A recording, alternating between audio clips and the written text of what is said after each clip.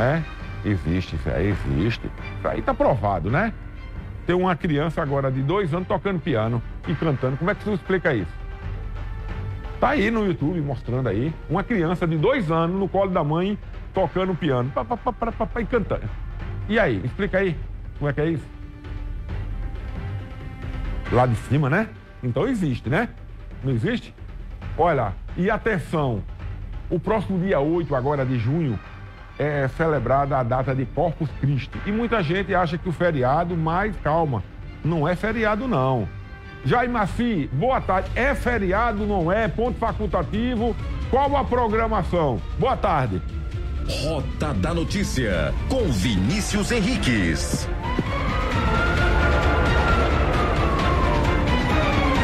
Boa tarde, Vinícius. Boa tarde a todo mundo que nos assiste. Olha, Vinícius, tem muita gente contando com esse dia 8. Justamente, sabe por quê? O dia 8 vai cair numa quinta-feira, certo? Então a pessoa enforca a sexta, né? Fica sábado e domingo de folga. E segunda-feira é simplesmente o dia dos namorados. Então, o dia 8, para quem for facultativo, para quem não for trabalhar, e enforcando a sexta, vai ter um feriadão aí de quatro dias para descansar, divertir e entrar nesse clima de São João com muito forró.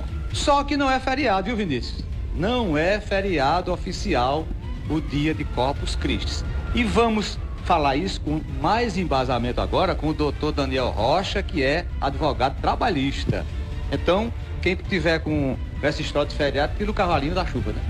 Boa tarde. É, infelizmente, o dia 8 de junho, dia de Corpus Christi, ele não é um feriado oficial. Não é um feriado nacional, não é um feriado estadual e nem um feriado municipal. Então, as empresas não têm nenhuma obrigação de liberar qualquer trabalhador do seu trabalho. E aí, essa história de hora extra, quem trabalhar também não tem? Não, de jeito nenhum. Não, não se aplica nenhuma regra para esse dia como se fosse um feriado, um feriado, um dia dobrado.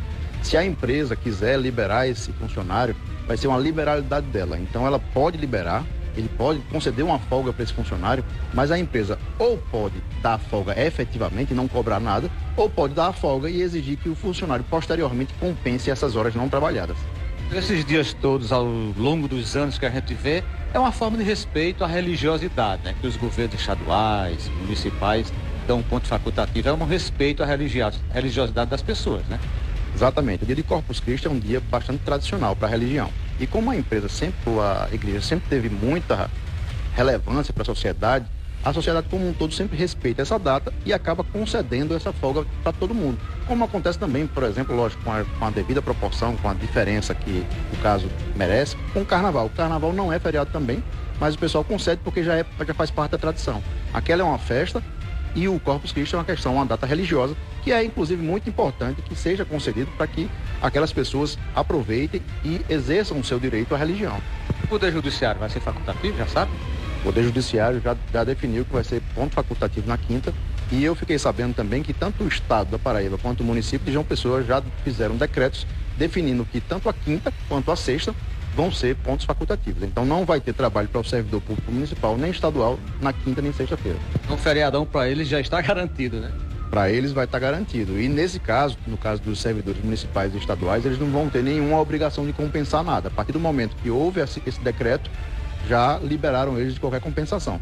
E se a empresa também fizer essa definição pela liberação do funcionário, ela não vai poder exigir posteriormente do empregado. Para que ela exija posteriormente, ela tem que fazer previamente um acordo de compensação. Se ela não fizer esse acordo, ela não vai poder cobrar o, a necessidade de compensação posteriormente. Explicando para o pessoal, a empresa que quiser fazer a liberação tem que chamar o pessoal e dizer, pessoal, vamos fazer um acordo aqui, vocês concordam ou não com isso, trabalhar depois, pagar as horas ou não, ou eu vou simplesmente liberar, né? Exatamente, a empresa tem essas duas opções. Ela pode liberar o funcionário sem exigir nada, sem exigir nenhuma compensação, mas para que ela exija essa compensação, ela vai ter que fazer um acordo diretamente com esse funcionário. Porque também o funcionário não pode ser obrigado a, a tirar essa folga porque a empresa quer e depois ter que compensar porque eles têm as questões pessoais e obrigações que também têm que ser cumpridas e respeitadas pela empresa.